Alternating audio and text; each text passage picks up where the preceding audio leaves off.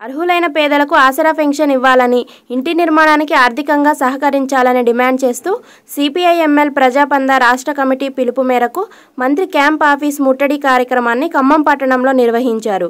ఈ కార్యక్రమంలో ఆవుల వెంకటేశ్వర్లు గండమల్ల రామయ్య ఆవుల అశోక్ ఆడపు రామారావు ఝాన్సీ మంగతాయి శ్రీనివాస్ భరత్ సురేష్ తదితరులు పాల్గొన్నారు.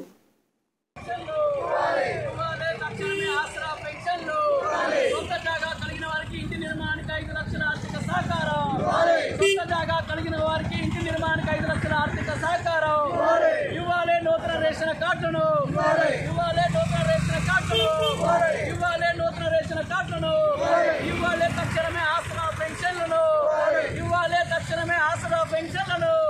ఇవ్వాలే. తక్షణమే ఆసరా పెన్షన్లను. వర్తిలాలే సిపిఎంఎల్ ప్రజా పందా